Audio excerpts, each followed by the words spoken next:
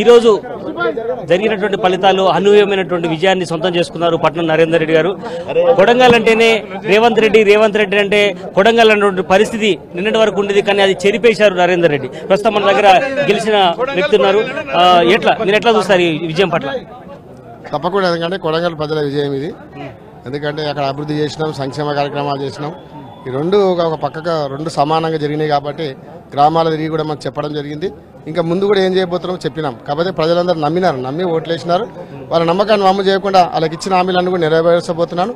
అందుకే భారీ మెజార్టీతో ఈ రోజు కొడంగల్ ప్రజలను గెలిపించడం జరిగింది. గడిచిన పదిహేనేళ్ళుగా ఆ నియోజకవర్గాన్ని అంటిపెట్టుకుని ఉన్నాడు. గెలుస్తారని ఊహించారా మీరు నేను ఎప్పుడో గెలుస్తాను గతంలోనే చెప్పినాను ప్రచారం చేసేటప్పుడే రేవంత్ రెడ్డి ఓడిపోతున్నాడు. ఆయన పెద్ద రాష్ట్ర నాయకుడు అని చెప్పినారు. రాష్ట్ర నాయకుడు కాదు నా ముందర గల్లీ నాయకుడే. నేనంతా అట్లా ఆయన చూడడం లేదు ఆయనంతా అట్లా అని చెప్పి చాలా మంది చాలా సార్లు టీవీలలో కూడా చెప్పడం జరిగింది. ఆ విధంగా నేను ఊహించిన ప్రకారం నేను గెలవడం జరిగింది. అంటే నేను రేవంత్ రెడ్డి అంటే నేను కొడంగల్ నాది నేను ఖచ్చితంగా గెలిచి తీరుతానని సవాల్ చేశాను దాన్ని ఎట్లా స్వీకరిస్తారు? ఇక ఆయన సవాల్ ఆయనని స్వీకరించాలి. ఎందుకు అట్లా జరిగిందో ఆయనకి ఆయన ఆయన విజ్ఞతకు వదిలేస్తున్నాడు. వాళ్ళని అడగాలి ఈరోజు సన్యాసం తీసుకుంటా అంటున్నాడు. మరి ఎప్పుడు తీసుకుంటాడో దాని ప్రకటన చేస్తే బాగుంటుంది. ఎందుకంటే మొన్ననే ప్రకటన చేసినాడు. నేను కొడంగల్ గెలవ ఓడిపోతే రాజకీయ సన్యాసం తీసుకుంటాను మరి మాట కట్టుబడి ఉండాలి ఆయన. దానికి కట్టుబడి ఉండి మరి ఎప్పుడు తీసుకుంటాడో దానికి కూడా సిద్ధం ఉండాలని నేను నియోజకవర్గానికి ఎట్లాంటి డెవలప్మెంట్ చేద్దాం అనుకుంటున్నారు? తప్పకుండా సాగునీరు తీసుకురాబోతున్నాం అక్కడ.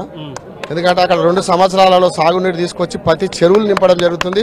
ప్రతి రైతుకు ప్రతి ఎకరకు ప్రతి పొలానికి నీళ్ళు ఇవ్వడం జరుగుతుంది.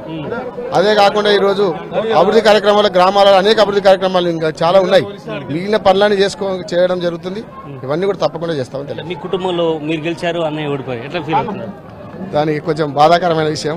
సోదరుడు అయితే అంత ప్రజల మధ్యనే ఉంటాడు. కొంచెంలో పోయిండు దాంట్లో కొంచెం విశ్లేషణ చేయాల్సి వస్తుంది. ఇది ఓవరాల్గా తన గెలుపు ఊహించింది అని చెప్పేసి పట్న పట్నం నరేందర్ రెడ్డి చెప్పడం జరుగుతుంది. మొత్తం రేవంత్ రెడ్డి పేరు ఇక్కడి నుంచి తొలగించేసి కొండగంలో తన నియోజకవర్గానిగా మార్చుకొని భవిష్యత్ అంతా అక్కడే ఉంటానన్నటువంటి విషయాన్ని ఆయన చెప్పడం జరుగుతుంది. Camera person బాలకృష్ణతో Narender V six news Vikarabad area నుంచి.